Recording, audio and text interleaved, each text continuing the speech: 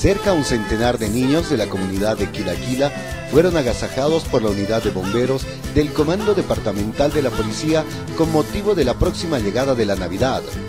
La unidad de bomberos determinó llenar de sonrisas las caritas de los niños de esta comunidad del Distrito 8 del municipio de Sucre. Muy temprano, un equipo reducido del personal de esta unidad policial llegó hasta este lugar,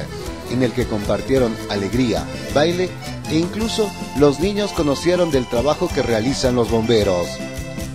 Los días previos a la Nochebuena es una invitación a vivir de un modo más intenso y profundo la unidad de las familias y de la comunidad parroquial, preparando con alegría y gozo el nacimiento del Salvador, y compartir de esta forma y prepararnos a celebrar la Navidad, dicen desde la unidad de bomberos de Chuquisaca.